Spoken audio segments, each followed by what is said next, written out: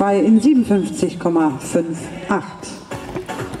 Lanciana wird vorgestellt von Rahel Eileen Werner, Reit- und Fahrverein Hasum und Umgebung.